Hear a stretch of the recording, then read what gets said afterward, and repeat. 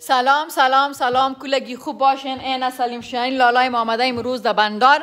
مو سلام. سلامونه. د ډېر ډېر سلامونه. د ټولو هیوادوالو سلامونه. وړاندې کوم. آه. خب امو کسایی که خوش بودن که لالای ما سلیم شاین فیلم ستار افغانستان در قید هستن. کت گلا.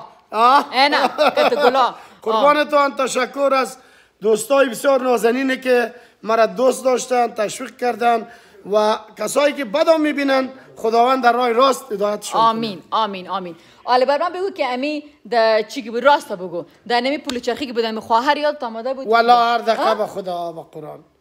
به خدا. دعا دقت کردیم در این نمازهای خود. برای تشکر کل افغانستان. خدا شاهد از دعا کردیم. خب اما کسایی که کتی در یک اونمو بلاک بود اونمو بندی خانه نامش چی بود که یک سلام برش بدی؟ سلام برای کلش دیگه کدامش میدی جان بود و امو بچگک بدر ایسه که ترکمنک بود و دیگه بدر یکی از دو سه سینماگراست که میگه نام مرا نگیریوش کنی خب. برای نام سلام. سلام سلام سلام سلام. کت سلیم شاین امروز بندار داشتیم امو گپایی که دروغ و حقیقت چی است؟ را شما می‌تونین که در برنامه بندار ببینین و همیشه ما یک چیزی میگم که باید از حقیقت خبر شو و زیاد بله،. بله، بله، سر, بله. سر یک گپ باور کنین شما. امو رقم هست ما ها میگم حالا گپ دارم. ما باید.